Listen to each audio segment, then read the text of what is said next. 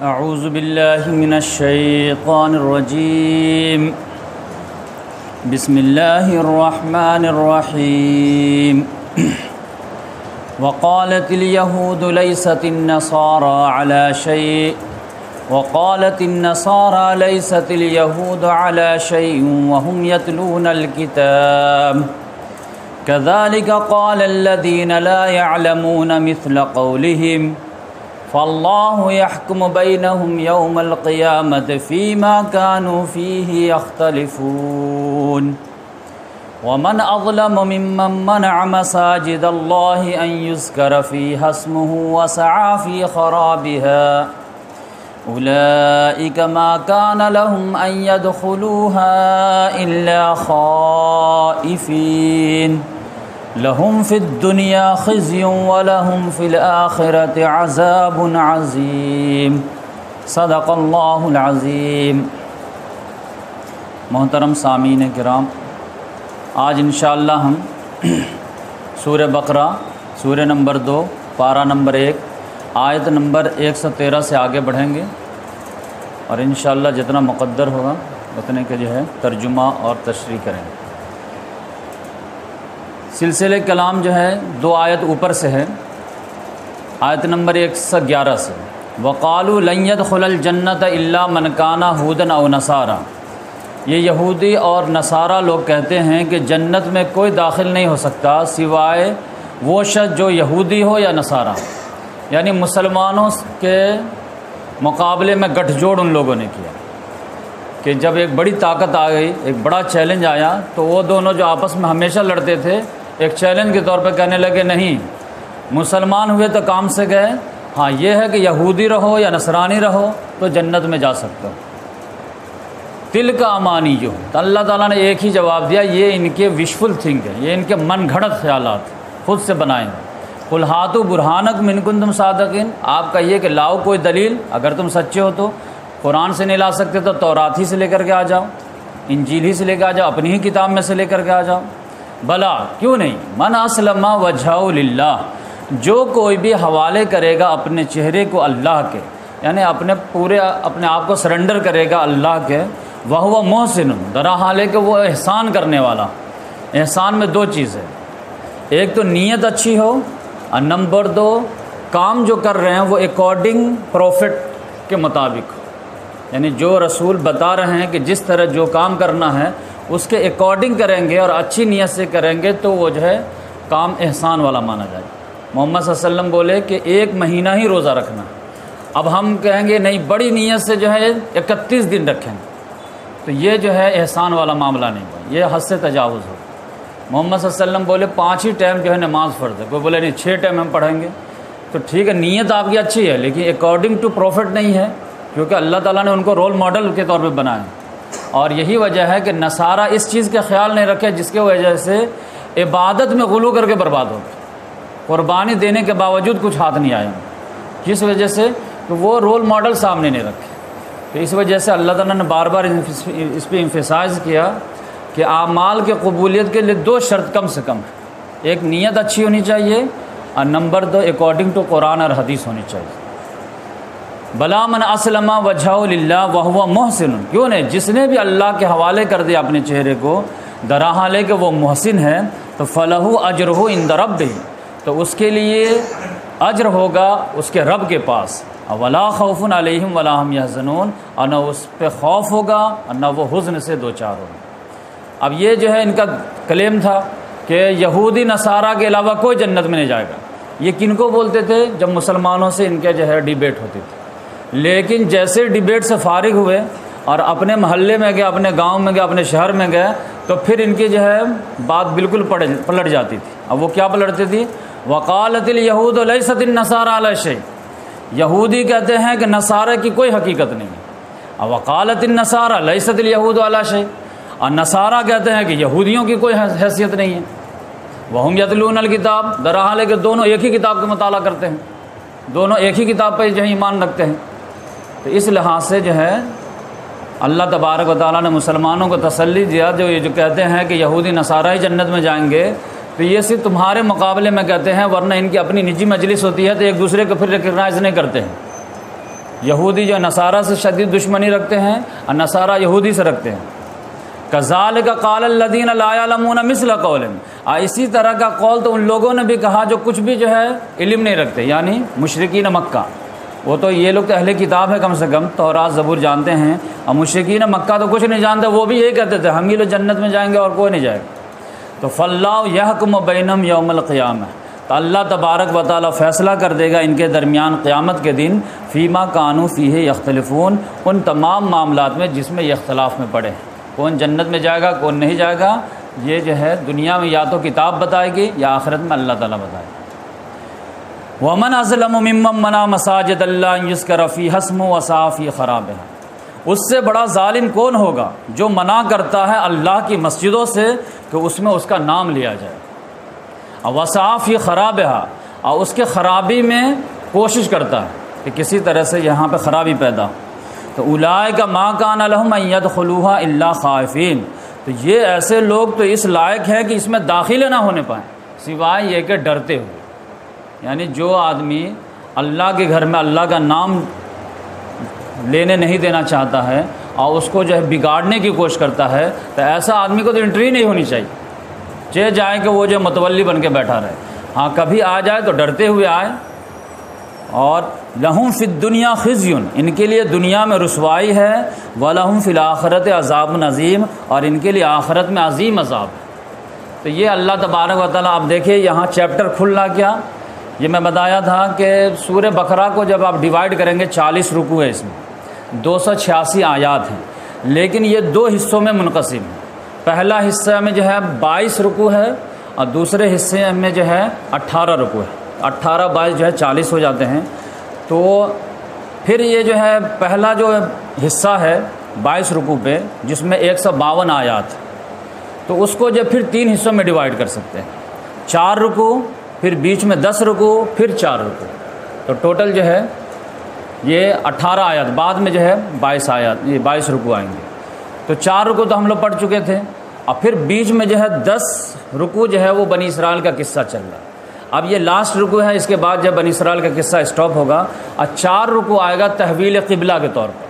اور یہ تحویل قبلہ جو ہے یعنی جو محمد صلی اللہ علیہ وسلم مکہ سے مائگریٹ کر کے مدینہ آئے تھے، تو سترہ مہینے تک قبلہ جو بنائے تھے، اللہ تبارک و تعالیٰ کے پرمیشن سے وہ یورشلم کو بنائے تھے ہیکل سلیمانی کو۔ تو اب اللہ تبارک و تعالیٰ کہہ رہا کہ نہیں، آپ جو ہے قبلہ چینج ہونا چاہیے۔ تو اس کے لیے اللہ تعالیٰ چار رکو نازل کر رہا کیونکہ یہ ظاہر داری والی معاملہ ہے۔ اور انسان جب ایک مرتبہ ظاہر داری پہ عمل کر لیتا ہے، تو جلدی جو ہے اس سے جو ہے ہٹتا نہیں ہے۔ چینجنگ از ڈیتھ تو کسی کو کسی بات پہ اگر جم گیا ہو، پھر اس کا چینج کرانا، جیسے جو موت کو ایکسیپٹ کرنا امپاسبل رہتا ہے، ویسے کوئی چینجز کو قبول کرنا امپاسبل رہتا تو اللہ تعالیٰ نے چار رکو مائنڈ بنایا کہ نہیں، اصل قبلہ یہی ہے، اصل قبلہ یہی ہے، اصل قبلہ یہی ہے چینج کرو چینج کرو چینج کرو۔ اتنی آیت۔ ورنہ ہم لوگ جب آپ پڑھیں گے خود سے قرآن مجید، اور کچھ تھوڑے بہت سمجھ میں آنے لگی، تو آپ کو لگے گا کہ ایک حکم کافی تھا، قبلہ چینج کر لو۔ تو ایک آیت میں بھی آرڈر مل جاتا، ٹھیک تھا، یہ چار رکو نازل کرنے کیا ضرورت؟ ہے تو یہ بات سمجھ لیجیے کہ جب آدمی کا جو ہے ظاہر داری پہ ایک مرتبہ دماغ جم جاتا ہے، تو جلدی وہاں سے ہٹتا نہیں ہے، بار بار جو ہے اس کو کنوینس کرنا پڑتا ہے۔ تو یہاں پر جو ہے ایک دو آیت سے اللہ تبار تعالیٰ مائنڈ بنانا شروع کیا ہے کہ جو ہے ابھی آرڈر آنے والا ہے۔ اب اس کا جو ہے امپلیمنٹیشن کیسے ہوا ہے آپ سمجھ لیجیے کہ اللہ کا نام لینے سے آپ جانتے ہیں، خانہ کعبہ جو توحید کا مرکز تھا ابراہیم علیہ السلام بنائے تھے۔ انہوں نے جو ہے وقت گزرنے کے ساتھ مشکین مکہ نے اس کو جو بتوں کا اڈا بنا دیا، تین سو ساٹھ بت جو ہے اندر باہر اوپر رکھ دیے تھے لا کر کے۔ اب جب جو ہے مسلمان محمد صلی اللہ علیہ وسلم پر ایمان لائے اور کبھی جو قرآن پڑھتے تھے تو سب لوگ چلاتے تھے اور جو شور کرتے تھے غریب کوئی رہتا تھا تو اس کو مارتے تھے، ورنہ یہ کرتے تھے۔ اور پھر جو ہے توحید کا نام لیتا تھا تو چڑ جاتے تھے اور کوئی شر کرتا تھا تو خوش ہوتے تھے۔ تو اللہ تبارک و تعالیٰ نے کہا، ان لوگوں کو تو حق ہی نہیں کہ یہ لوگ اس میں داخل ہو، کیسے متولی بنے بیٹھے؟ داخل ہوں بتا ڈرتے ہوئے۔ تو ڈرتے ہوئے تو اس کا امپلیمنٹیشن کیسے ہوا؟ وہ بہت شاندار انداز۔ محمد صلی اللہ علیہ وسلم بہت سسٹمیٹک اس پہ عمل کی۔ وہ کیسے کیے؟ کہ چھ ہجری میں آپ جانتے ہیں صلح حدیبیہ ہو چھ ہجری میں صلح حدیبیہ ہو گئی ہے مسلمان اور غیر مسلم ایک دوسرے کے یہاں آنا جانا سب لوگوں کو علاو ہو گیا۔ سات ہجری میں رسول اللہ صلی اللہ علیہ وسلم جو ہے سیکنڈ اینیمی جو تھا خیبر، یہودیوں کا گڑھ، اس کو فتح کر لی اس کے بعد جو ہے، ساتھ ہی ہجری میں معاہدہ صلح حدیبیہ کا ٹوٹ گیا۔ اور ابو سفیان آئے کہ معاہدہ کو جو ہے رینیو کر دیجیے۔ محمد صلی اللہ علیہ وسلم لفٹ نہیں دیے کہ نہیں، اب تو ہم تم کو آرام سے ختم کر سکتے ہیں۔ اور مکہ کو ہم جو ہے، آزاد کرا سکتے ہیں۔ تو اب جو ہے، حق جب جو ہے، غالب ہو سکتا ہے، تو ہم جو ہے پیچ اپ کیوں کرنے جائیں؟ ہم جو ہے، صلح نہیں کریں گے۔ اور پھر آٹھویں ہجری میں محمد صلی اللہ علیہ وسلم لانچ کر دیے رمضان میں اور پھر جو ہے مکہ فتح ہو گیا۔ لیکن ہوا کیا؟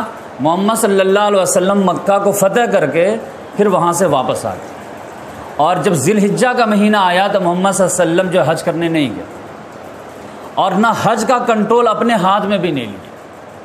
بس یہ تھا کہ مکہ فتح ہے اور مکہ مدینہ پہ مسلمانوں کی حکومت ہے۔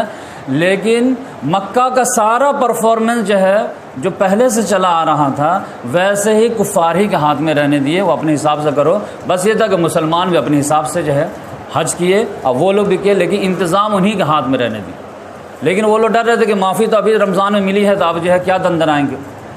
لیکن پھر ساتویں، ایک سال کے بعد، نویں ہجری میں، پھر محمد صلی اللہ علیہ وسلم حج کا زمانہ آیا، تو محمد صلی اللہ علیہ وسلم نہیں گئے حج کرنے کے لیے۔ لیکن اس بار جو ہے حج کا انتظام چھین لیے اور اپنے ہاتھ میں لے لیے اور پھر جو ہے حج کے امیر جو ہے حضرت ابو بکر صدیق رضی اللہ تعالیٰ عنہ کو بنا کے بھیجے کہ آپ جائیں اور آپ حج کرائیں گے، آپ اپنے حساب سے حج کا پرفارمنس کریں گے اور مشرقین آنا چاہیں تو آئیں وہ اپنے حساب سے کریں۔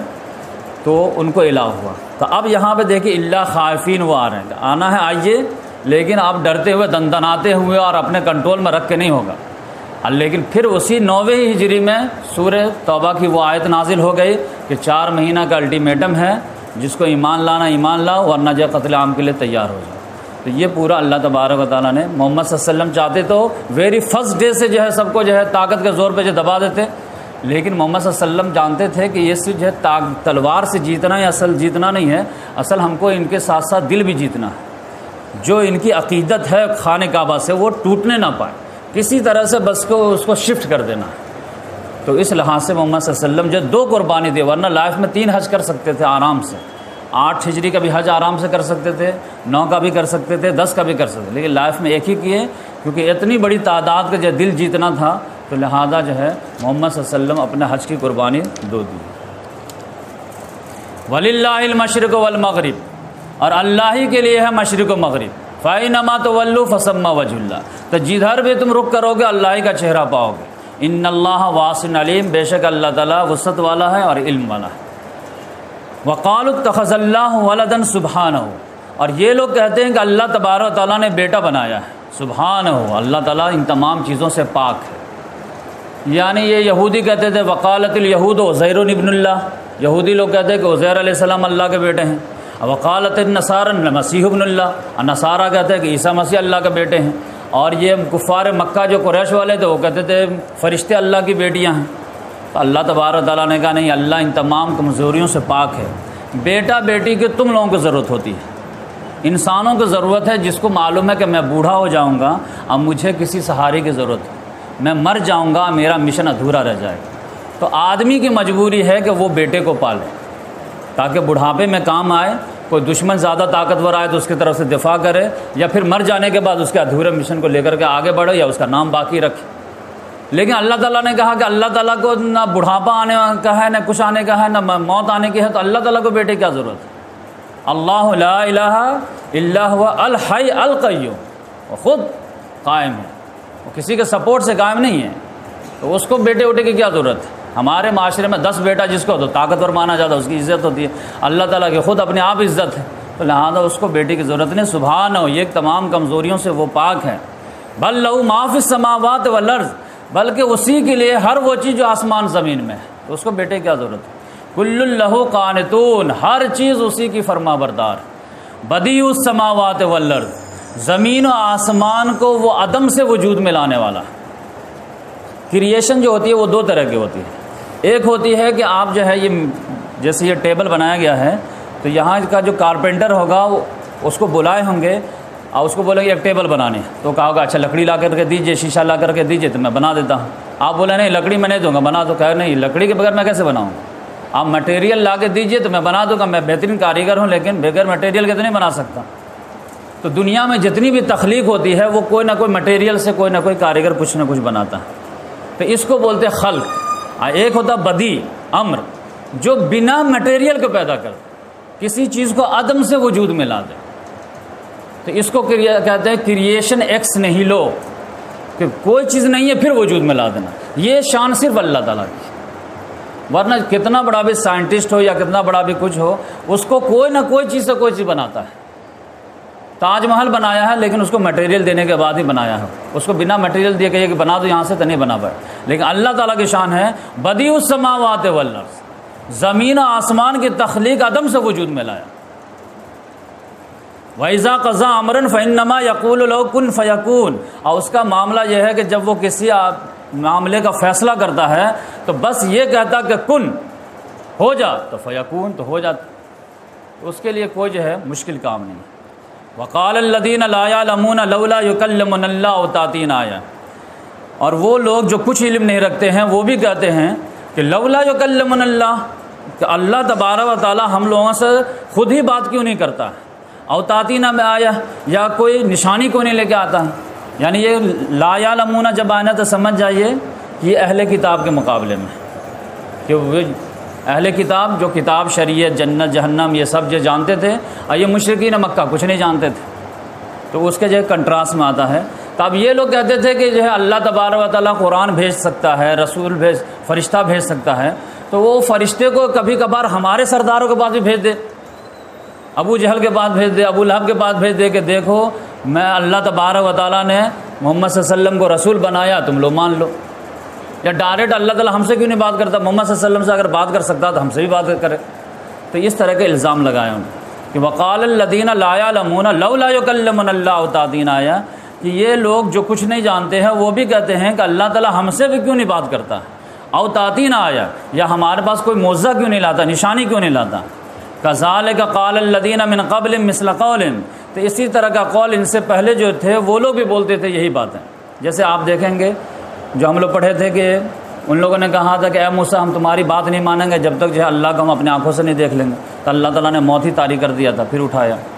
تو تشابہت قلوب ہوں تو ان کے دل جو ہے ملتے جلتے ہیں ایک ہی سے ہیں۔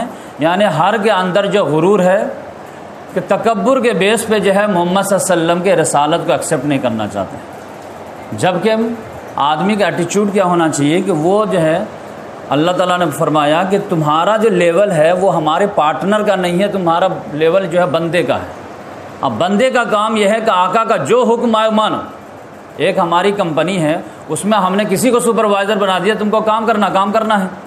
تم آبجیکشن نہیں لے سکتے کہ اس کو نہیں سپروائزر بناؤ، اس کو بناؤ، یہ ایٹیچیوڈ ہوتا ہے پارٹنر کا۔ اور جو ورکر رہتے ہیں، اس کو بس جو ہے کون جو ہے سپروائز کرے گا، کون باس رہے گا، وہ تمہارا کام نہیں ہے۔ تمہارا کام ہے کام کرو اور جو ہے تم ویجز لو سیلری لو۔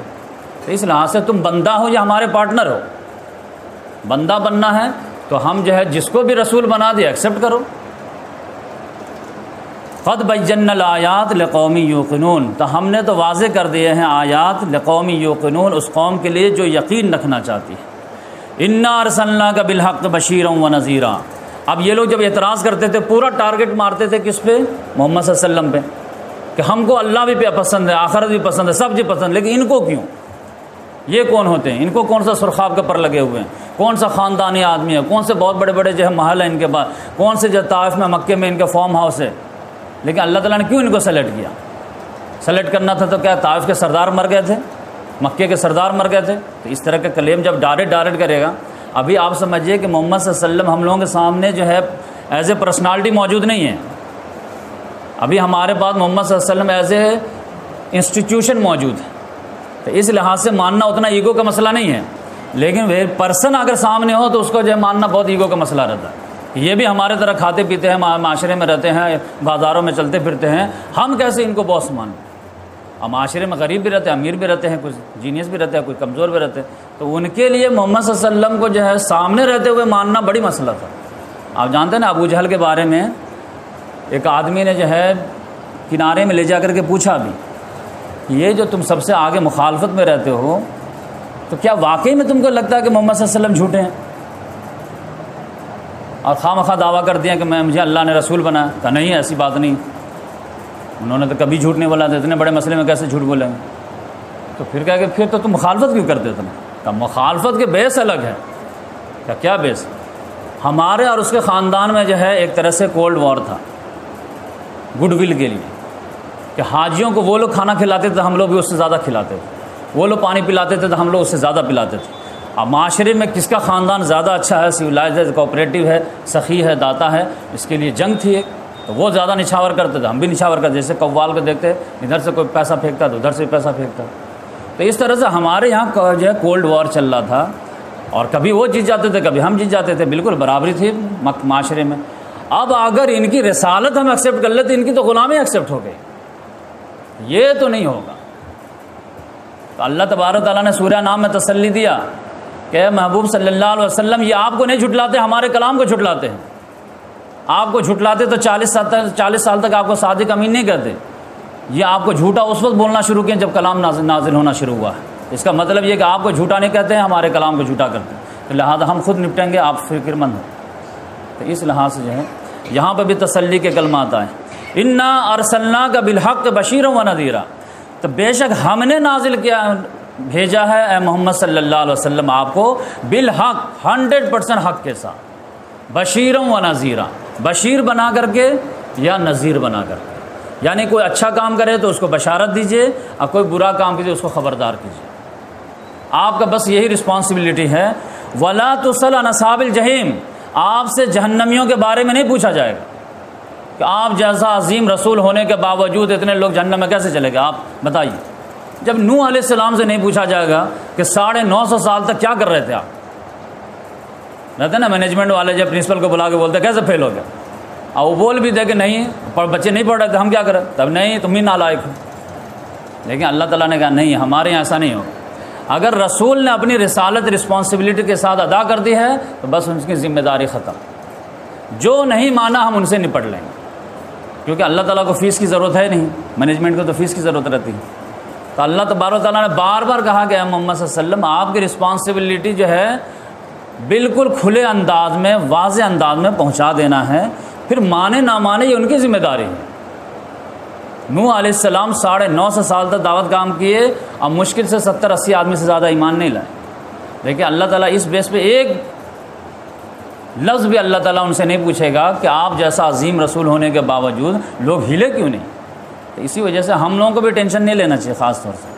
اور یہ چیز اگر سامنے رہے، بہت سارے لوگ رہتے ہیں نا کہ دین کو قائم کرنا قائم کرنا ہے اور لوگ رسپانس نہیں دے رہے ہیں تو سیدھی انگلی سے گھی نہیں نکلتے تو ٹیڑھی کر دو کچھ نہ کچھ جو توڑ پھوڑی کر دو، چلو کچھ ہو جائے۔ ورنہ لوگ کہیں گے تم جو ہے دس سال سے محنت کرو، کہاں کچھ ہوا؟ تو ایسے کوئی ہماری ذمہ داری ہے ہی نہیں۔ تو اگر یہ ذمہ داری معلوم رہے تو آدمی جو ہے رائٹ ڈائریکشن رانگ ڈائریکشن میں نہیں جائے گا۔ سمجھے گا کہ ہمارا کام ہے اذان دینا۔ نمازی کی اپنی ذمہ داری ہے کہ وہ چل کے آئے۔ مؤذن نے اگر ٹائم سے اذان دے دیا ہے تو اب نمازی نہیں آئے گا تو اللہ تعالیٰ مؤذن سے نہیں پوچھے گا کہ تمہارے اذان میں وہ برکت کہاں تھی جو آئے نہیں۔ پڑی تو یہ بات سمجھ لیں گے۔ اب اللہ تبار و تعالیٰ نے محمد صلی اللہ علیہ وسلم کو تھوڑے سے تسلی اور بھی دیے کہ دیکھیے، یہ لوگ جو ہے، یہود و نصارہ کے پیچھے پڑے ہوئے ہیں۔ اب محمد صلی اللہ علیہ وسلم کو جو ہے، ایک طرح سے سمجھیے کہ اندازہ نہیں تھا۔ مکے میں جب تھے، وہ سمجھتے تھے، یہ کفار مکہ تو ٹھیک ہے، نبوت، رسالت، آخرت، جنت، جہنم کچھ نہیں جانتے ہیں۔ کبھی کتاب اتاب آ ہی نہیں، کوئی رسول نہیں آیا۔ اسماعیل علیہ السلام کے بعد ڈائریکٹ میں آیا ہوں، پچیس سو سال کا گیپ ہے۔ تو یہ تو ٹھیک ہے، یہ اپوز کر رہے ہیں، سمجھ میں بات لیکن یہود و نصارہ تو ان کے یہاں تو جو ہے، نبوت، رسالت ہمیشہ کی جو ہے فیملیئر چیز ہے۔ وہاں جائیں گے تو ہٹو بچوں کے نعرے لگیں گے۔ سب لوگ گلے لگائیں گے مجھے، سب لوگ جب ویلکم کریں گے، دو چار سوال کریں گے کھٹاکٹ مان جائیں گے۔ لیکن یہاں آ کر کے جو ہے، بالکل معاملہ الٹا نکل گیا۔ ولن طرزہ انکل یہود ولن نصارہ حتیٰ تتب ملت ہوں اے محمد صلی اللہ علیہ وسلم، یہود و نصارہ آپ سے ہرگز ہرگز راضی نہیں ہوں گے۔ یہاں تک کہ آپ ان کے ملت کی پیروی کرنے لگیں۔ کیونکہ وہ دباؤ بنا رہتے ہیں کہ آپ تھوڑے ہمارا مانیے، آپ ہم آپ کا تھوڑا مانیں۔ اللہ تعالیٰ نے وارن کر دیا کہ تھوڑا بہت سے کچھ نہیں ہونا، حق حق ہے اور وہ ہنڈریڈ پرسینٹ پیور ہونا چاہیے۔ اور کوئی آمیزش وغیرہ نہیں، کسی کا لحاظ مت کیجیے۔ نہ کفار مکہ کا، نہ یہود کا، نہ نصارہ کا۔ جو ہم گائیڈ کر رہے ہیں، بس جو ہے مومنٹ کو جاری رکھیے۔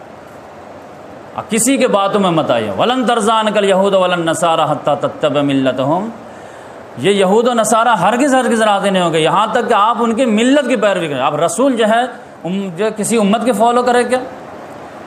کل ان ہد اللہ ہدا آپ ڈنگ کے چوٹ کہیے کہ ہدایت اللہ کی ہدایت۔ ہے وہ لوگ جو ہے، وہ طاقت کے ساتھ زور لگاتے تھے، کہتے تھے کہ ٹھیک ہے، آپ کہتے ہیں کہ آپ کا ایمان ہے تو ہمارا بھی ایمان ہے۔ آپ بولیے، کس پہ ایمان ہے اللہ پر ایمان ہے، آخرت پہ ایمان ہے، رسول پہ ایمان ہے، ملائکہ پہ ایمان ہے، کتاب پر ایمان ہے، آخرت جنت اور جہنم پہ ایمان ہے، کس پہ ہمارا بھی ایمان ہے؟ خالی آپ کو نہیں مانتے بس۔ ورنہ ہاں سینکڑوں رسول کو تو مانتے ہیں، ایک لاکھ چوبیس ہزار رسول ہے سب کو مانتے ہیں ہم۔ جتنی کتابیں نازل ہے سب کو مانتے ہیں۔ یہ سب تو ہمارے خاندان کے ہیں، تو کیسے ہم کو آپ ریجیکٹ کر سکتے؟ لیکن اللہ تعالیٰ نے کہا، نہیں، جب تک لاسٹ رسول کو بھی نہیں مانیں گے، نہیں مانا جائے گا۔ تو اس لحاظ سے جو ہے یہ لوگ دھونس جماتے تھے تو اللہ تبار تعالیٰ نے کہا کہ آپ کہہ دیجیے گے انا ہد اللہ ہول ہدا اللہ کی ہدایت ہی اصل ہدایت رہے گی۔ اب دیکھیے یہاں پہ جو ہے اس ترجمہ کرتے ہوئے بھی اچھا اچھا عالم ڈر جاتا ہے۔ والین تبات احوام باد الدی جاگ من العلم مالک من اللہ من ولی ولا نصیر تو بفرز محال اگر اتباع کریں گے، آپ ان کے خواہش نفس کی، بعد اس کے کہ آپ کے پاس علم آ چکا ہے۔ تو اللہ کے مقابلے میں نہ کوئی حمایتی ہوگا، نہ کوئی مددگار ہوگا۔ اب کس کو کہا جا رہا ہے؟ محمد صلی اللہ علیہ وسلم۔ یعنی محمد صلی اللہ علیہ وسلم کے ذریعے سے امت کو کہا جاتا ہے۔ محمد صلی اللہ علیہ وسلم کا تو کوئی سوال نہیں تھا کہ ان کی بات مانے لیکن ہم لوگ تو متاثر ہو جاتے ہیں۔ ٹھیک ہے، اقامت دین نہیں ہو رہا تو چلو، آؤ نیا سماج بناتے ہیں۔ تو اس لحاظ سے کمپرومائز حق کو باطل میں باطل میں تھوڑا پیچ اپ کر لیتے ہیں۔ گیو اینڈ ٹیک کا معاملہ ہو جاتا ہے۔ لیکن اللہ تعالیٰ نے کہا، نہیں حق آ جانے کے بعد حق کا یہ حق ہے کہ اس کو جو ہے باطل کے بغیر جو ہے اس کو نافذ کر دیں باطل دو ہی پسند ہے، حق لا شریک۔ شرک کہتے ہیں میان حق کو باطل نہ کر کو بول یہ کیسے ہو سکتا تو یہ آپ دیکھیے، رسول اللہ صلی اللہ علیہ وسلم کو مخاطب کر کے اللہ تعالیٰ نے کہا والا تبات احوام اگر ان کے خواہش نفس کی آپ پیروی کریں گے باد اللہ جا من علم بعد اس کے کہ حق آ گیا، علم آ گیا آپ کا۔ مالک من اللہ من ولی ولا نصیر۔ تو اللہ کے مقابلے میں کوئی مددگار نہیں ہوگا، کوئی حمایتی نہیں ہوگا۔ تب خود ہی اکیلے جو ہے آپ جو مومنٹ لے کے چلیں گے اب کون مدد کرتا ہے؟ ہماری مدد چاہیے تو ایک سلو سے ہمارے بندہ بن کے آئیے۔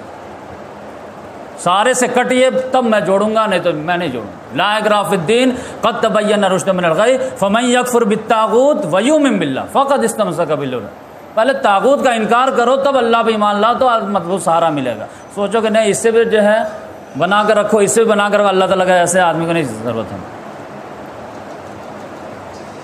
تو وہ جو ہے اللہ دین آتینہ حمل کتاب یتلون حق تلاوتی، اولائک یومنون بھی اب یہ آیت دیکھیے کتنی عظیم ہے۔ الدین آتینہ حمل کتاب وہ لوگ جن کو ہم نے کتاب دی ہے۔ یتلون حق کا تلاوتی۔ وہ اس کی تلاوت کرتے ہیں جتنے کے جیسا کہ اس کے تلاوت کا حق ہے۔ اب یہ آیت کہاں لے جائیں گے؟ الدین آتینہ حمل کتاب وہ لوگ جن کو ہم نے کتاب دی ہے، چاہے یہود ہو، نصارہ، کسی کو بھی دی ہے۔ اللہ کی کتاب آ گئی نا، تو اب یقینی بات ہے کہ اس کا حق ہے کہ ویسے اس کی تلاوت کی جائے جیسے کہ اس کا حق ہے۔ کہ یتلون و حق کا تلاوت ہے وہ اس کی تلاوت کرتے ہیں جیسے کہ اس کا تلاوت کا حق ہے۔ اگر وہ کریں گے تو الائے کہ یوں منون ابھی تو یہ لوگ ہیں جو اس پر ایمان ہے ورنہ کوئی کہہ دے کہ ہاں میں مانتا ہوں قرآن کو اور زندگی پر نہ پڑھے، تو یہ ماننے کے برابر ہے۔ کوئی لڑکا کسی لڑکی سے کہتے ہاں میں تم کو شادی کے لیے قبول کرتا ہوں اور سال بھر زندگی پر خرچہ نہ دے، تو بیوی ہے اس کی۔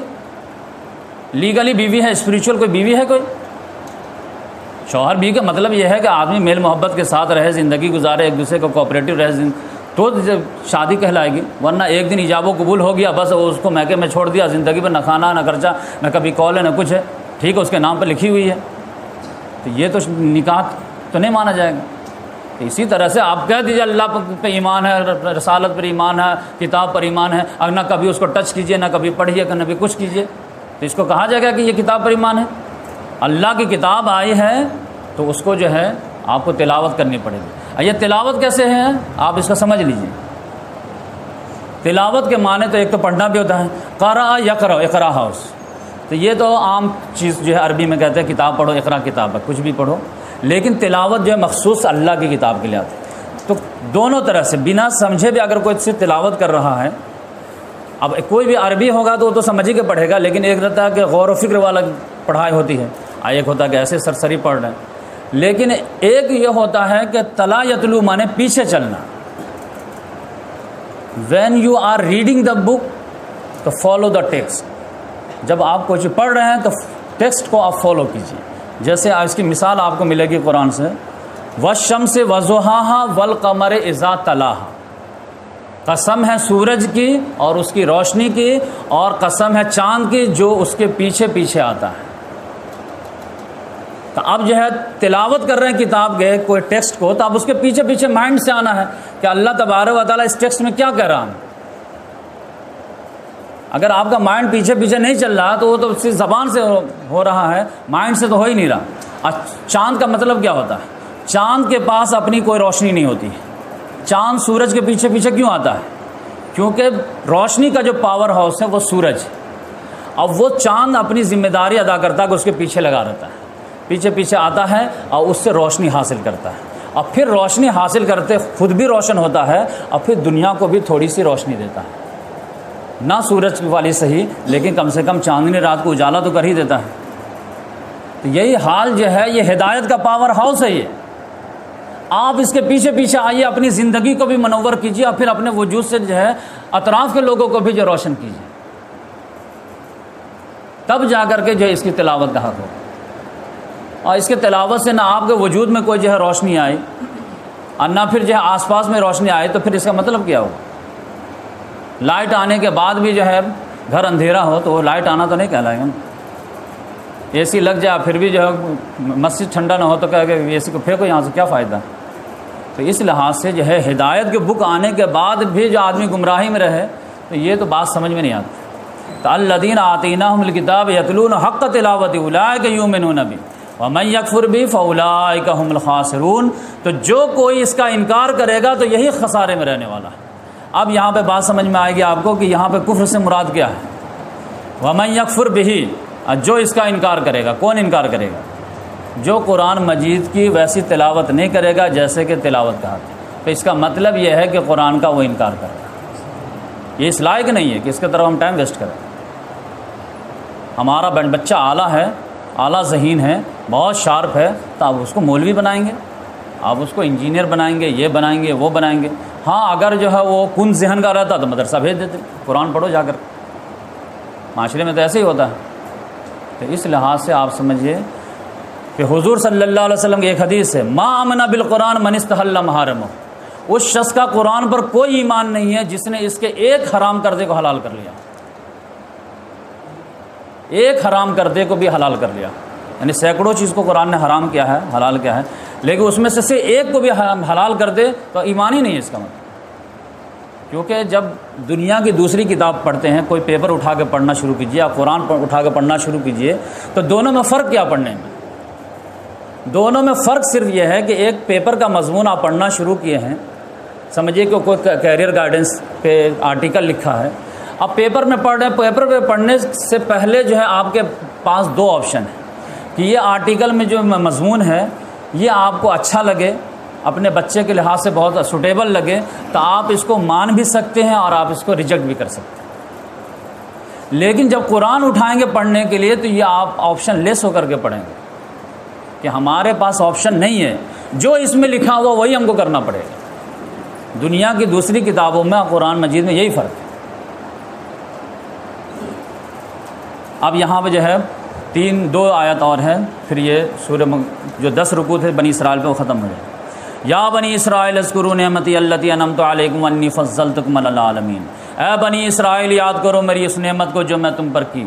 وہ انی فضل تکم العالمین۔ اب میں نے تم کو فضیلت بخشی تمام جہان والوں پر، پوری دنیا کا امام بنا دیا تھا۔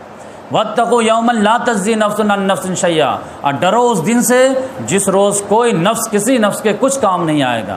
ولا يقبل من عدل، کوئی جو ہے رشوت قبول نہیں کی جائے گی۔ ولا تنفعها شفاعت، کسی کی شفاعت کچھ قبول نفع نہیں دے گی۔ ولا هم ينصرون، اور کوئی مدد کرنے والا نہیں ہوگا۔ اب یہاں سے جو ہے ابراہیم علیہ السلام، کیونکہ دعوت ہونی ہے، تو دعوت میں جو ہے کامن ٹرن پہ جو ہے لوگوں کو بلانا چاہیے۔ اب محمد صلی اللہ علیہ وسلم امت مسلمہ میں اور یہود و نصارہ میں کامن چیز کیا ہے؟ تو کامن چیز ہے کہ ابراہیم علیہ السلام ابراہیم علیہ السلام کو وہ لوگ بھی مانتے تھے اور یہ لوگ بھی مانتے تھے۔ اور ان کو تو نازی تھا کہ ہم ابراہیم کے اولاد ہیں۔ تو اللہ تبارک و تعالیٰ نے کہا تو ٹھیک ہے، ابراہیم کے اولاد ہے بہت اچھی بات ہے، تو اتنا جھجلانے کی ضرورت کیا ہے؟ یہ امامت جو ہے شفٹ ہو رہی ہے، تو ابراہیم ہی کی دوسری نسل میں شفٹ ہو رہی ہے۔ ان کے دو بیٹے تھے، ایک اسحاق علیہ السلام، ایک اسماعیل علیہ السلام۔ تو اب تک تو جو اسحاق علیہ السلام کے پورے جو ہے نسل میں جو ہے نبوت رسالت رہی۔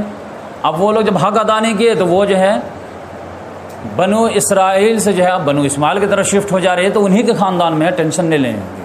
تو ابراہیم علیہ السلام کو جو ہم نے کہہ دیا تھا کہ انی جائل لنا سے امامہ میں آپ کو جو ہے دنیا کا امام بناؤں گا تو وہ امامت ہے انہی کے اندر۔ بس یہ ہے کہ ان کے برانچز بدل گئے ہیں، لہٰذا اتنا واویلا کرنے کی ضرورت نہیں۔ تو ویزب طلع ابراہیم رب ہو بکلمات انفاطم یہ جملہ تو اتنا بہترین ہے کہ یاد کرو جبکہ ابراہیم علیہ السلام کو اس کے رب نے آزمایا بہت بڑے بڑے کم معاملے میں۔ فاطم مہنہ تو اس میں وہ ہر میں وہ ہنڈریڈ پرسینٹ سے کام ہوا۔ اب یہ امتحان لینے والا کہہ دے کہ واقعی میں میں بڑا بڑا امتحان لیا تھا، اس نے ہنڈریڈ پرسینٹ فلائنگ کلر سے پاس ہوا۔ اب اس سے زیادہ جو ہے انکریجنگ ورڈ کیا ہو سکتی خود اللہ تعالیٰ کہتے کہ نہیں ویزب طلع ابراہیم رب و بکلمات یاد کر ابراہیم علیہ السلام کو جبکہ اس کے رب نے بہت سارے بڑے بڑے آزمائش میں اس کو ڈالا۔ افاتم مہن ہر میں وہ ہنڈریڈ پرسینٹ فلائنگ کلر سے پاس۔ تو اللہ تعالیٰ نے کہا، ایمان جو ہے، آخرت میں جو جو ملے گا، سو ملے گا، دنیا ہی میں کیا ملے گا؟ قال انی جائل کا لنا سے ماما تو اللہ تعالیٰ نے کہا کہ اے ابراہیم، میں آپ کو لوگوں کا امام بناؤں۔ پوری انسانیت کا آپ لیڈر رہیں گے۔ یہ امام دو رکت والے نہیں۔ وہ امام جو لوگوں کو لیڈ کرے۔ آج کل کے امام تو جو ہے متولی کے جو فالو کرتے ہیں۔ قال و من ضروریاتی لیکن ابراہیم علیہ السلام سوچے کہ لوہا گرم ہے، تو فوراً ایک اور چوٹ مار دی جائے۔ انہوں نے کہا ومن ضروریاتی کہہ رہے، کیا میری ضروریت بھی امام رہے گی؟ جب رہتے نا بچے جو بہت چلاک رہتے ہیں، والد کو دیکھ لیتے ہیں کہ ایک مرتبہ کنوینس ہو گئے نا، تو پھر اور بھی جو ڈیمانڈ کرنے لگتے ہاں یہ بھی چاہیے، یہ بھی چاہیے۔ تو ابراہیم علیہ السلام بھی کیا ومن ضروریت کیا میری ضروریت بھی امام رہے گی سارے لوگوں کے؟ قال اللہ ظالمین لیکن آپ جانتے اللہ تعالیٰ تو جذبات سے پاک ہے۔ یہ بات بہت اہم میں بتایا آپ کو۔ اللہ تعالیٰ جذبات سے پاک ہے۔ بہت سارے لوگ رہتے ہیں نا کہ وہ کہتے ہیں کہ اللہ تبار و تعالیٰ اتنا محبت کرتا ہے، اتنا کہ ستر ماؤں سے زیادہ محبت کرتا ہے۔ تو کوئی ماں جو ہے بیٹے سے کتنا بھی ناراض ہو جاتی ہے، تو چلاتی ہے کہ تم کو یہ کر دوں گی، وہ کر دوں گی اور یہ کر دوں گی، لیکن وقت آتا تو کرتی ہے کیا؟ ماں کی محبت غالب آ جاتی ہے معاف کر دیتی ہے۔ تو اللہ تعالیٰ تو ستر ماؤں سے زیادہ محبت کرتا ہے، تو یہ قرآن میں جو دھمکی وغیرہ آئی ہے ویسے ہی رہ گئے۔ جب کوئی ماں جو ہے اپنے بچوں کو سزا نہیں دیتی تو اللہ بھی نہیں دیتی۔ تو یہ بات سمجھ لیجیے کہ اللہ تعالیٰ جذبات، احساسات تمام چیزوں سے پاک ہے۔ اگر آپ کو کہا جائے یہ ایک عورت ہے، اس کے چھوٹے چھوٹے دودھ پیتے چار تین بچے ہیں۔ کوئی ڈیڑھ سال کا ہے، کوئی چھ مہینے کا ہے، کوئی چار سال کا ہے، کوئی پانچ سال کا ہے۔ آئیے اس سے عورت کی جان لے لو۔ تو آپ لیں گے کیا جان؟ آپ کو رحم آ جائے گا۔ آپ کا نہیں نہیں، میں نہیں لوں گا۔ یہ چار بچے کہاں جائیں گے؟ لیکن اللہ تعالیٰ لیتا ہے کہ نہیں؟ ہزاروں عورتیں ہاسپٹل میں ایسے دم توڑ رہی ہوں کہ نہیں؟ چھوٹے چھوٹے بچوں کو کینسر ہو جاتا کہ نہیں؟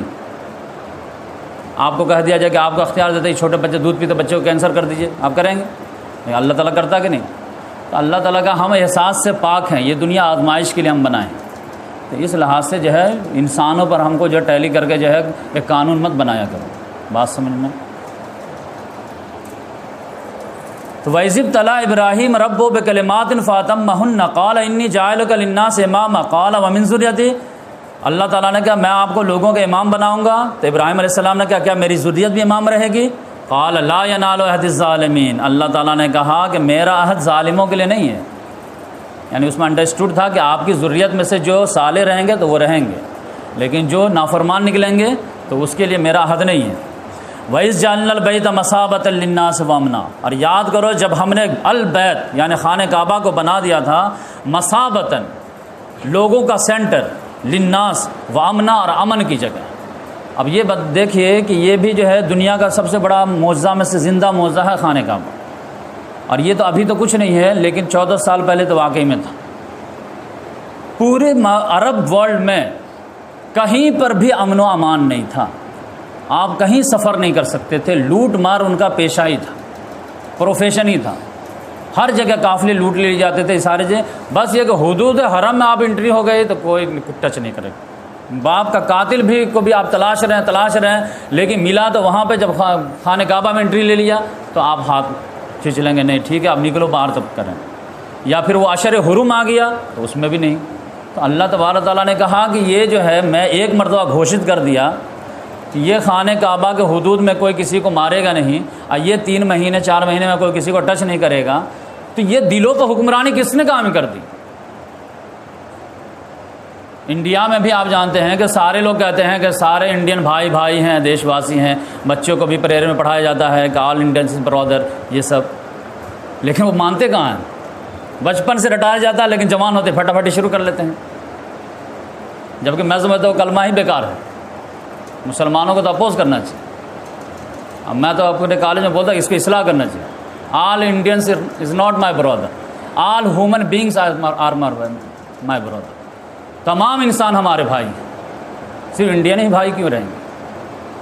چائنا والے لوگ ہمارے بھائی نہیں کیا؟ افغانستان والے ہمارے بھائی نہیں پاکستان والے ہمارے بھائی نہیں جتنے بھی آدم کے اولاد ہیں، سب ہمارے بھائی بچوں کو یہ سبق دینی چاہیے۔ سیلفش نیچر کیوں ڈیولپ کرتی تو اس لحاظ سے آپ دیکھیں کہ اللہ تبار و تعالیٰ نے ایک مرتبہ کہہ دیے کہ یہ جو ہے خانہ کعبہ امن کی جگہ ہے اور لوگوں کو پلٹ پلٹ کے آنے کی جگہ ہے۔ تو وائس جان البیت مسابت الناس وامنا اوت تخذو میں مقام ابراہیم مسلّہ تو ابراہیم مقام ابراہیم کو جو ہے مسلح کی جگہ بنائی۔ واحد نا الا ابراہیم و اسماعیل انتہرا بیتی الطائفین ولاقفینہ و رک کا سجود اور ہم نے عہد لیا تھا ابراہیم علیہ السلام سے بھی اور اسماعیل علیہ السلام سے کہ دونوں میرے گھر کو پاک و صاف رکھیں گے لطائفین طواف کرنے والوں کے لیے ولاقفین اعتکاف کرنے والوں کے لیے ورک کا سجود نماز پڑھنے والوں۔ اب تم لوگوں کو ناز ہے کہ ہمارے باپ دادا ابراہیم اسماعیل ہیں، تو ٹھیک ہے، تو ان سے کیا عہد لیا تھا اللہ تعالیٰ نے؟ کہ خانہ کعبہ کو پاک رکھنا گندگی سے بھی اور شرک کی بھی گندگی سے۔ اور تم لوگ اس کی اولاد کیسے نکل گئے؟ کہ شرک کی گندگی جو ہے، بتوں کا اڈا بنا کے رکھ دیا، تین سو ساٹھ بت لا کر کے رکھ دیو جتنے قبیل ہے سب کا ایک بت۔ ویس قال ابراہیم اور اب جل ہادہ بلدن آمنا۔ اور یاد کرو، جب ابراہیم علیہ السلام نے کہا، اے میرے پروردگار، اس شہر کو امن والا شہر بنا دو۔ اور ورژ اہل میں ثمرات اور یہاں کے باشیوں کو جو ہے، پھلوں کا رزق عطا کر۔ کیونکہ یہاں تو ریت میں تو کھیتی باڑی ہونے والی نہیں، لیکن پھل فروٹ تو دے سکتے ہیں۔ من آمن منہم بلّہ ولی ملا کر جو کوئی بھی ان میں سے ایمان لائے اللہ پر اور آخرت پر۔ کیونکہ اوپر اللہ تعالیٰ تھوڑا سا ڈانٹ دیے تھے کہ لا ینال و حدیث ظالمین تو فوراً ہی اپنے طرح سے ایڈ کر دیا ہے۔ ہم آپ سے رزق کی دعا کرتے ہیں اپنے اولاد کے لیے، جو لوگ ایمان لائیں گے۔ تو اللہ تعالیٰ نے کہا، نہیں، ایسی بات نہیں ہے۔ امامت الگ چیز ہے اور رزق الگ چیز ہے۔ قال ومن کفر و فومت تو خلیلہ اللہ تعالیٰ نے کہا، جو کافر بھی ہوگا آپ کے اس میں سے، اولاد میں سے، تو فومت ہو کلیلہ تو اس کو بھی ہم تھوڑا بہت دیں گے۔ دنیا میں جو ہے رزق ہم منع نہیں کریں گے۔ سم مستر و عذاب النار۔ لیکن پھر اسے کھینچ کر لائیں گے عذاب نار کی طرف۔ اور وہ بیسر مسیر وہ کیا ہے برا ٹھکانا ہے۔ یعنی امامت الگ چیز ہے، رزق الگ چیز ہے۔ رزق ہم جاہل کو بھی دیتے ہیں، فاسق کو بھی دیتے ہیں، بلکہ جانور کو بھی دیتے ہیں۔ تو وہ کافر کو بھی دیں گے، اس میں کوئی مسئلہ نہیں۔ امامت کا آپ جو سوال گئے تھے تو وہ تو جو ہے ہم اپنے نیک بندوں ہی کو دیں۔ گے اب یہاں پہ جو ہے وہ شاندار ہسٹری۔ ویز یرف و ابراہیم القواعد من البید و اسماعیل اور یاد کرو ابراہیم علیہ السلام کو اور اسماعیل علیہ السلام کو جب یہ خانہ کعبہ کے بنیادوں کو اٹھا رہے تھے۔ قواعد فاؤنڈیشن یعنی یہ فاؤنڈیشن جو ڈالے تھے وہ آدم علیہ السلام ڈالے تھے۔ دنیا کے بت قدوں میں پہلا وہ گھر خدا کا، ہم اس کے پاس باں ہیں، وہ پاس باں ہیں۔ انا اول بیتم وضی الناس للدی بکا تو اس لحاظ سے جو خانہ کعبہ جو ہے وہ پہلا گھر ہے جو دنیا کے وجود میں اللہ کے لیے بنایا گیا۔ تو وہ جو ہے سیلاب وغیرہ کی وجہ سے جو ہے وہ دیواریں گر گئی، لیکن اندر جو فاؤنڈیشن تھا وہ باقی تھا، اس پہ ریت جم گیا تھا۔ اللہ تبارک و تعالیٰ نے وہاں سے عراق سے جو ہے شام گئے ہیں، ہجرت کر کے۔ اور شام سے پھر اللہ تعالیٰ نے ابراہیم علیہ السلام کہا کہ چلتے جائیے چلتے جائیے۔ اور پھر وادی غیر ذرا میں بچے کو چھوڑے ہیں۔ اور پھر جب بچہ جوان ہو گیا ہے تو اللہ تعالیٰ نے کہا، اب جو ہے وہ پرانی جو عمارت ہے بیت العتیق اور جو صرف اس کا فاؤنڈیشن بچ گیا ہے اور دیواریں تو ختم ہو چکی ہے اس کو اٹھائیے۔ تو الفاظ کیا ویز یارف و ابراہیم القواعد۔ یاد کرو جب ابراہیم علیہ السلام اس کے فاؤنڈیشن کو اوپر اٹھا رہے تھے۔ اور اسماعیل اور بیٹا بھی ساتھ تھا۔ باپ بیٹا مل کر کے کر رہے تھے۔ آج جو ہے دیوار بھی جوڑ رہے تھے، کتنا بہترین سما رہا ہوگا کہ ایک مزدور، ایک جو ہے مستری۔ آج جو ہے بیٹا جو ہے تیرہ، چودہ سال کا دوڑ دوڑ کے پتھر لا رہا ہے۔ اور باپ جو ہے دیوار کو نصب کر رہا ہے اور دونوں کے لب پہ جو ہے ایک جو ہے کلمہ بھی جاری دعا بھی جاری ہے۔ کیا ہے؟ ربنا تقبل منا، ربنا تقبل منا۔ اے ہمارے پروردگار، ہمارے جانب سے اس کوشش کو قبول کریں کیونکہ اصل میں جو ہے بنانا تو بہت آسان ہے، لیکن اس کا شرف قبولیت ہو تبھی جا کر کے اس کی اہمیت۔ ہے وہ ایک مثال ہے جو اچھی نہ بھی لگے، ہو سکتا ہے کہ کوئی خاتون تھی تو وہ جو ہے بہت زیادہ سستی سورتی تھی۔ لیکن وہ محاورہ ہے کہ وہ کتنا بھی سوج سج لے، سور لے، لیکن اگر اس کا شوہر اس کو نہ دیکھے تو فائدہ کیا سجنے کا؟ ہاں شوہر کمپلیمنٹ دے دے، دیکھنے کے بعد تب اس کا سجنا سورنا آدھا گھنٹہ جو ہے کامیاب رہا۔ اب کوئی دیکھا ہی نہیں شوہر نے، تو پھر وہ فائدہ نہیں ہے۔ اسی طرح مسلمان اگر نیکی کا کام کرے اور اگر اس کو قبولیت ہی نہ ملے تو زیرو سے ضرب کھا کے زیرو ہو گیا۔ کوئی فائدہ ہی نہیں ہوا ٹائم ویسٹ ہوا انرجی لاس ہوا۔ تو رب بنا تقبل منا۔ تو دونوں جو ہے ایک ہی دعا کر رہے تھے اللہ، اس کو، اس کوشش کو ہمارے طرف سے قبول کر لے۔ ان کا انت سمیل علیم بے شک تو سننے والا ہے، جاننے والا ہے۔ اب یہاں پہ دیکھیے، وہ دعا جو چار ہزار سال پہلے کی گئی تھی، اس کا نتیجہ ہے ہم لوگ یہاں پہ۔ رب بنا وجاللہ مسلم ہی لگ اے ہمارے پروردگار، ہمیں اپنا مسلمان بنا دے۔ اب یہاں پہ مسلمان کی ڈیفینیشن آپ کو سمجھ میں آئے گی۔ مسلم مانے فرما بردار۔ تب دعا کیا ہے؟ رب بنا وجاللہ مسلم لگ اے اللہ، ہمیں اپنا فرما بردار بنا دے۔ یعنی اگر ہم بھٹک بھی جاتے تو زبردستی ہم کو ہدایت دلا دے۔ اور ومن ضروریتنا امتم مسلمت اللہ اور میری ضرورت میں سے، ہماری ضرورت میں سے ایک امت مسلمہ پیدا کر۔ کیونکہ ہم دو باپ بیٹے تو مل کر کے دنیا میں انقلاب تو نہیں لا سکتے۔ بڑے بڑے دعوت کے سینٹر قائم کر دیں۔ گے لیکن ایک امت ہماری نسل میں سے پیدا ہو جو دنیا میں خلافت کا حق ادا کرے۔ تو ومن ضروریتنا امتم مسلمت میری ضروریت میں سے تو ایک جو ہے امت مسلمہ پیدا کرنا، وارنا مناسکنا، اور ہمیں جو ہے حج کے مناسک بھی بتا دے کہ کیسے ہم حج کو ادا کریں۔ وطوب علینا اور ہم پر رحم کر۔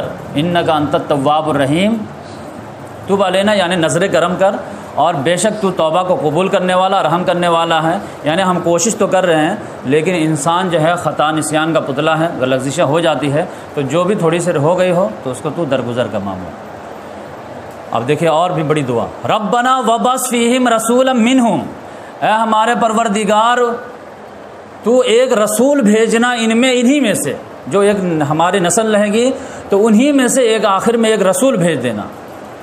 اب یہ جو ہے اصل میں دعا دونوں کی ہے، ابراہیم علیہ السلام کی بھی ہے، اسماعیل علیہ السلام۔ اسماعیل علیہ السلام کی یہ دعا پچیس سو سال کے بعد پوری ہوئی۔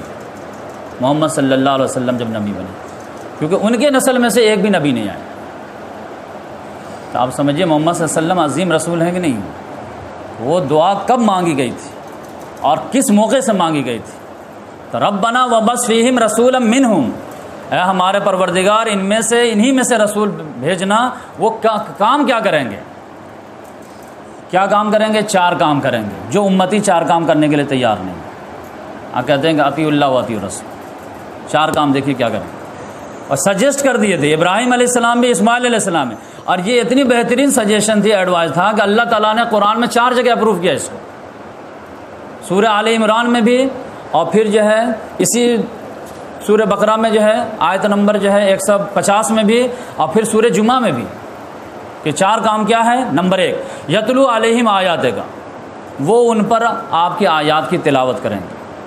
وہ جو المحل کتاب اور وہ آپ کی کتاب کی تعلیم دیں گے۔ والحکم اور وہ کتاب کی حکمت کی تعلیم دیں گے۔ وہ یہ ذکی ہم اور پھر ان کا تزکیہ کریں گے کتاب کے ذریعے سے۔ محمد صلی اللہ علیہ وسلم کا آپ جو ہے پوری سیرت النبی پڑھ جائیے، مکہ سے لے کر کے مدینہ تک۔ یہی چار کام کرتے نظر آتے کہ نہیں آپ؟ آپ جہاں جاتے تھے، قرآن ہی سناتے تھے کہ اپنا خطبہ دیتے تھے۔ اسی لیے آپ کو محمد صلی اللہ علیہ وسلم کا خطبہ بہت کم نظر ہے حضرت علی رضی اللہ تعالیٰ کا خطبہ زیادہ نظر آتا۔ لیکن محمد صلی اللہ علیہ وسلم کا خطبہ کم نظر آتا۔ کیوں؟ کیونکہ محمد صاحب جہاں جاتے تھے، قرآن سناتے تھے۔ جمعہ میں بھی جو قرآن ہی سناتے تھے۔ اپنے طرف سے کم۔ جب اللہ تعالیٰ کا اعلیٰ کلام ہے تو اپنے طرف سے کیا ایڈ کرنا لیکن ان کے ساتھ جو ہے پلس پوائنٹ یہ تھا کہ جو ان کے مخاطب تھے وہ سمجھنے والے تھے، لہٰذا اس کی تشریح کی ضرورت نہیں پڑتی تھی۔ ہمارے یہاں یہ ہے کہ تشریح کرنی پڑتی ہیں۔ تو چار کام کرنا ہے۔